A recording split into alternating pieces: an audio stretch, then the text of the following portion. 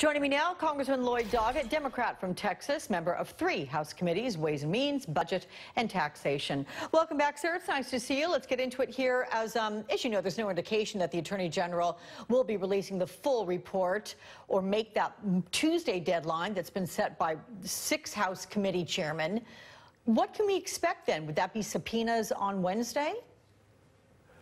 Well, I think uh, it's time to take action. Uh, you know, we don't have the 400-page Mueller report. We have the four-page Barr report and a number of excuses and delay uh, brought again with his latest letter on Friday. Uh, I want to see the full report. I think it should be turned over to uh, the House uh, Intelligence Committee.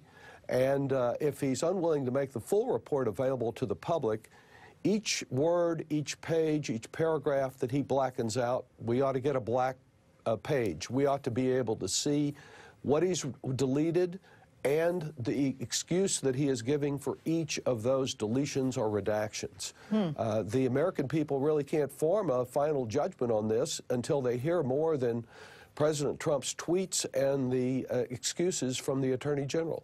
York's uh, expectation, sir, of what you want to get, it goes even further in a new report in USA Today, which says the Democrats, they aren't going to stop until they get Mueller's grand jury testimony.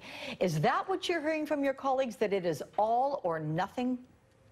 Well, I think uh, our position is a reasonable one, that we want to see the entire report if there is uh, an ongoing investigation that some part of that report would impair then that should be considered uh, perhaps in classified uh, session by the Intelligence Committee or the Judiciary Committee.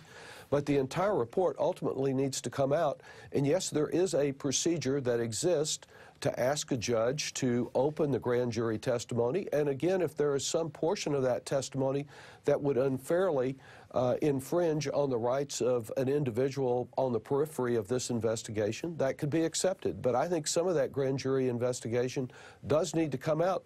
We're not really even to that point yet because we don't have the base report itself. We just have excuses, delays, and uh, President Trump's uh, tweets and campaign rallies. They seem to, instead of transparency, they seem to want to make the report largely invisible.